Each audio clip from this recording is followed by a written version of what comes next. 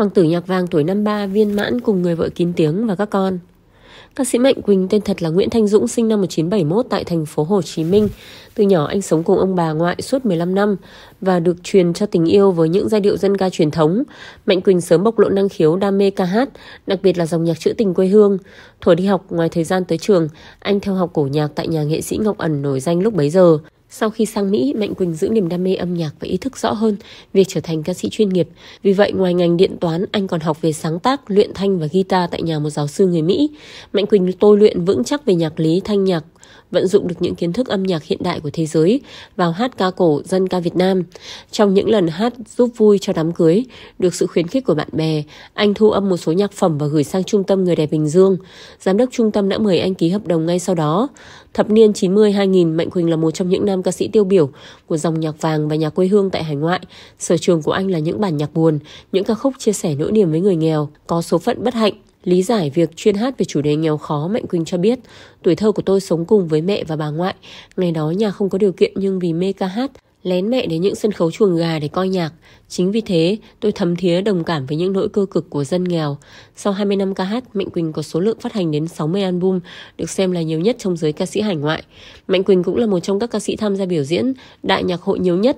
Năm 2016, Mạnh Quỳnh cũng rất thành công với live show Mạnh Quỳnh cảm ơn cuộc đời và là giám khảo của chương trình Solo cùng Bolero do Đài Phát thanh Truyền hình Vĩnh Long tổ chức khoảng cuối thập niên 90 trong đĩa nhạc dã từ thế kỷ.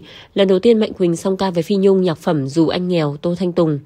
Sự hòa hợp trong phong cách biểu diễn và chất giọng trữ tình giúp họ trở thành cặp song ca vàng của làng nhạc, được khán giả nhớ tới qua các bản Nối lại tình xưa, Ngân Giang, Em về miệt thứ, Hà Phương, Kiếp cầm ca, Huỳnh Anh. Mạnh Quỳnh kết đôi thành công và ăn ý nhất trên sân khấu với Phi Nhung. Ngoài ra anh cũng song ca với nhiều nữ ca sĩ khác như Như Quỳnh, Hương Thủy, Tâm Đoan, Mai Thiên Vân, Khả Tú.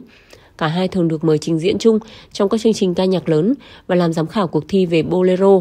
Mạnh Quỳnh gắn bó với người đồng nghiệp thân thiết trong thời gian dài, nên khi Phi Nhung đột ngột qua đời vào năm 2021, anh cảm thấy vô cùng trống vắng.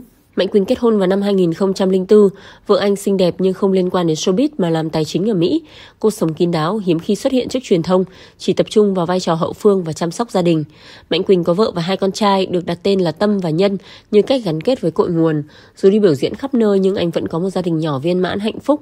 Mạnh Quỳnh tiết lộ niềm vui hiện tại là đưa đón con đi học, đầu tư phòng thu tại nhà, nghĩ ý tưởng viết sách. Anh từng hứa với các con rằng 55 tuổi sẽ nghỉ hưu, nhưng tương lai ra sao vẫn chưa biết trước. Về cuộc sống cá nhân, Mạnh Quỳnh khẳng định không thích cuộc sống xa hoa ồn ào. Tôi sống an phận là một trong số ít ca sĩ không ở trung tâm của người Việt là bang California, Mỹ. Tôi chọn một tiểu bang khác vì yên tĩnh, con cái học hành tốt. Tôi thích sống bình dị trong một ngôi nhà nhỏ, có hai chiếc xe vậy là đủ rồi. Hiện Mạnh Quỳnh đã ở tuổi 53 nhưng được nhận xét là ngày càng trẻ trung phong độ và đẹp hơn cả thời trẻ. Sau mỗi chương trình nghệ thuật, nam ca sĩ nhận được rất nhiều hoa của người hâm mộ. Tôi nghĩ nghề ca hát nằm trong máu thịt, nên dù sau này không đứng trên sân khấu sẽ vẫn làm điều gì đó liên quan đến âm nhạc, chẳng hạn làm phòng thu, sáng tác, viết tuồng. Tôi không giỏi kinh doanh, đầu tư nhà đất hay xe cộ. Nam ca sĩ bày tỏ, tôi vẫn có đủ điều kiện lo cho gia đình nếu không đi hát nữa. Tuy nhiên tôi không ở nhà được đâu. Tôi quen với cảm giác xách vali ra khỏi nhà, đi show vào cuối tuần rồi. Mạnh Quỳnh cho hay. Cuộc đời và sự nghiệp của ca sĩ Tuấn Ngọc, một tượng đài của dòng nhạc tình ca. Tuấn Ngọc được xem là một trong những nam ca sĩ tiêu biểu nhất của dòng nhạc trữ tình hải ngoại sau năm 1975 cho đến nay. Ông sở hữu giọng hát trầm ấm và có phong cách diễn tả đặc biệt, là nam ca sĩ nhận được đánh giá cao của giới chuyên môn, cũng như sự hâm mộ của công chúng yêu nhạc. Những nhạc sĩ trữ tình nổi tiếng nhất của nhạc Việt là Ngô Thụy Miên, Vũ Thành An, Từ Công Phụng, Phạm Duy. Trịnh Công Sơn đều xem Tuấn Ngọc là dòng ca nam hát thành công nhất những ca khúc của họ. Tuấn Ngọc cũng được nhiều người xem là một tượng đài của dòng nhạc trữ tình, luôn xuất hiện trên sân khấu với một phong cách chỉnh chu lịch thiệp của một quý ông đích thực. Đặc biệt, giọng hát của ông còn tạo thành một trường phái Tuấn Ngọc, tạo được sự ảnh hưởng tới nhiều nam ca sĩ thế hệ sau như Nguyên Khang, Trần Thái Hòa, Quang Dũng, Xuân Phú. Ca sĩ Tuấn Ngọc, tên thật là Lã Anh Tuấn, sinh ngày 4 tháng 10 năm 1947 tại Đà Lạt, trong một gia đình nghệ thuật với những tên tuổi lớn như nghệ sĩ Lữ Liên, bố, Bích Chiêu, chị gái, và các anh em đều là những giọng ca nổi tiếng Anh Tú, Khánh Hà, Thúy Anh, Lan Anh, Lưu Bích. Ca sĩ Tuấn Ngọc đi hát từ sớm từ khi lên 4. Ông đã hát và được mời cộng tác trong các chương trình ca nhạc dành riêng cho thiếu nhi trên đài phát thanh, cùng với những thần đồng Quốc Thắng và Kim Chi. Thời gian sau đó, Tuấn Ngọc cộng tác với chương trình dành riêng cho thiếu nhi của cặp nghệ sĩ Kiều Hạnh và Phạm Đình Sĩ, là bác ruột của ca sĩ Thái Thảo, vợ của ông sau này. Ông tự giải thích một cách hài hước về nghệ danh Tuấn Ngọc đã gắn bó với sự nghiệp ca hát lừng lẫy như sau – Hồi còn nhỏ lúc 7 tuổi tôi đi hát lấy tên thật anh Tuấn, nhưng trong đài phát thanh có một nghệ sĩ lâu năm cũng tên anh Tuấn nên mọi người không cho tôi lấy tên đó, sợ bị trùng, sợ tôi lĩnh lương của ổng. Bố tôi đổi tên cho tôi mà không hỏi ý kiến nên bây giờ tôi có tên là Ngọc nữa. Khi mới được 13 tuổi, Tuấn Ngọc theo chân các ca sĩ đàn anh đàn chị để đi hát nhạc ngoại ở những club Mỹ. Lúc này vẫn còn rất thừa thớt ở Sài Gòn. Sau năm 65, cùng với sự xuất hiện ồ ạt của người Mỹ ở miền Nam, các club Mỹ ngày càng nhiều, phong trào nhạc trẻ và nhạc ngoại phát triển cực thịnh. Tuấn Ngọc là một trong những ca sĩ hoạt động tích cực nhất và được biết đến chủ yếu với nhiều ca khúc nhạc tiếng Anh. Đầu thập niên 70, ông tham gia vào hai ban nhạc trẻ nổi tiếng thời bấy giờ là The Strawberry Floor và The Top Five. Ca sĩ Tuấn Ngọc có thể xem là sinh cùng thời với những danh ca nhạc trữ tình tiền chiến như Khánh Ly, Lệ Thu.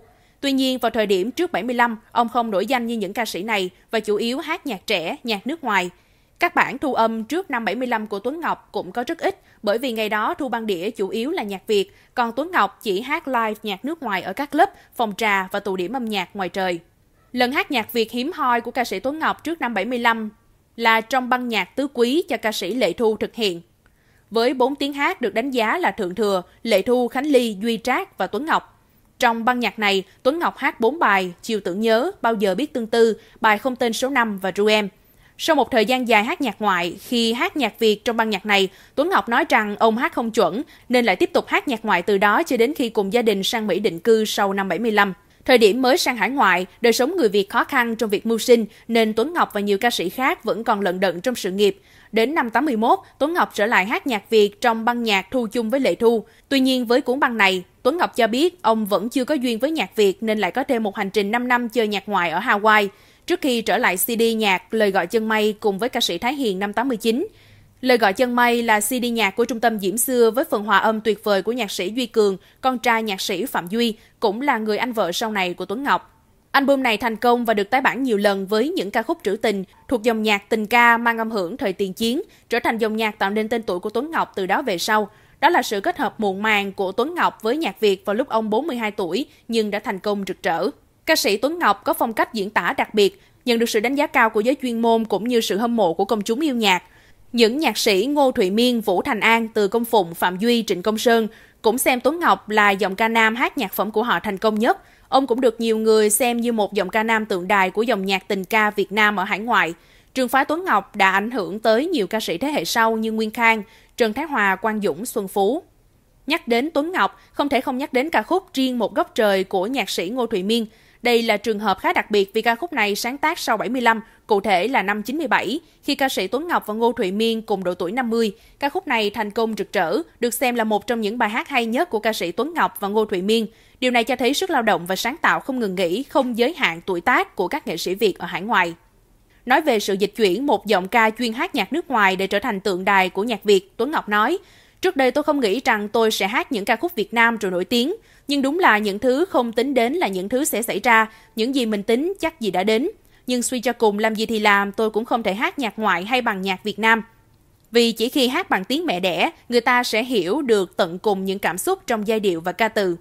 Những ca khúc gắn liền với tên tuổi của Tuấn Ngọc thường rất buồn. Bài hát buồn mà qua giọng hát của ông như càng buồn hơn, như thể là ông đi đến tận cùng cảm xúc bài hát để diễn tả một cách trọn vẹn nhất. Theo thời gian, cùng với làn sóng ca sĩ hải ngoại trở về nước phục vụ công chúng ở trong nước vốn hâm mộ cuồng nhiệt tiếng hát Tuấn Ngọc chỉ qua băng đĩa. Sau một thời gian thu âm trong vài CD ở trong nước, xuất hiện trong một số live show quy mô nhỏ đến năm 2006, Tuấn Ngọc thực hiện live show lớn đầu tiên với chủ đề Riêng một góc trời ở nhà hát Hòa Bình. Đầu năm 2019, ca sĩ Tuấn Ngọc lại gây chú ý khi nhận lời làm huấn luyện viên trong chương trình The Voice giọng hát Việt, trở thành huấn luyện viên lớn tuổi nhất trong lịch sử game show này. Quán quân trong giọng hát Việt 2019 cũng là học trò Tuấn Ngọc, tên Đức Thịnh. Sau khi chương trình kết thúc tháng 7 năm 2019, Tuấn Ngọc cũng cho biết sẽ tiếp tục tham dự chương trình nếu được mời vì các giọng ca trẻ cần được chia sẻ kinh nghiệm từ những thế hệ đi trước nhiều hơn.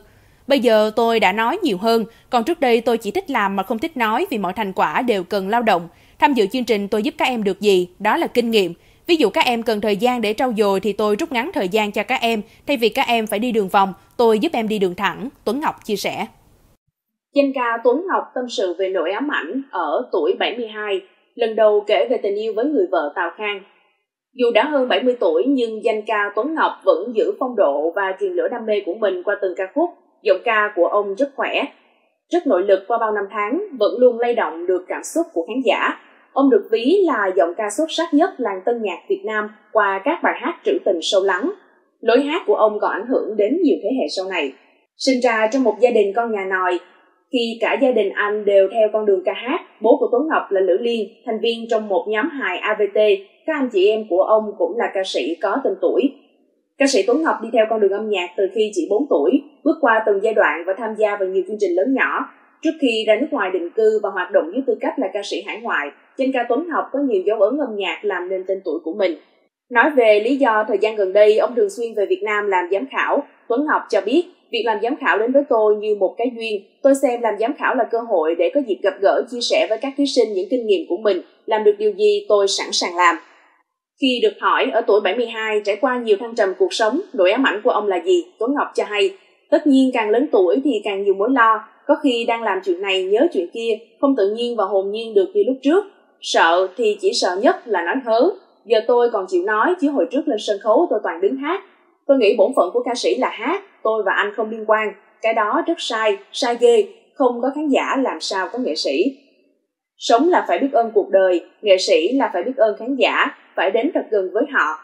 Tôi thích hát phòng trà hơn sân khấu cũng vì thế, nhưng mà nói thì cũng chỉ nên nói ít, thà bảo không biết còn hơn vỗ ngực bảo mình biết tuốt, lớn tuổi rồi nên cái gì cũng biết, cái đó nó kỳ lắm.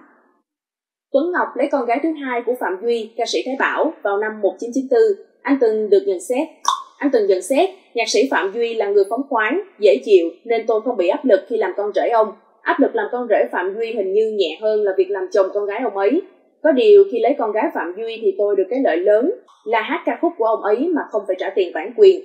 Tuấn Ngọc từng thu âm nhiều ca khúc của bố vợ. Hát nhạc của bố vợ tôi luôn phải cẩn thận và kỹ càng, nhất là hát trên bản phối mới của Hoài Sa, nhạc sĩ tôi vô cùng yêu mến, anh giải thích.